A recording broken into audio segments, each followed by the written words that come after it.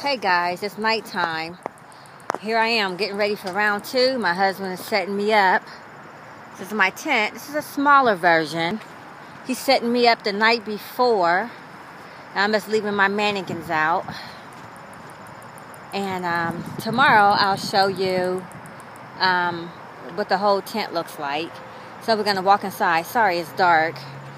My husband, he's really just been getting it done.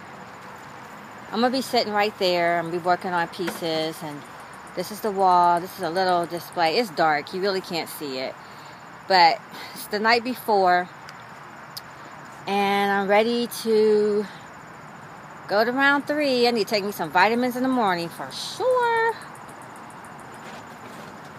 So there's his truck. He just unloaded. There's my Jeep. And today it's another day, and there's my sign, guys. Look at that. It says Xantha's Innovative Accessories, the new alternative for the fashion forward woman. You know what? I did that years ago, and that is so true. That still holds true today. Babe, okay, so. I love you, honey bunch.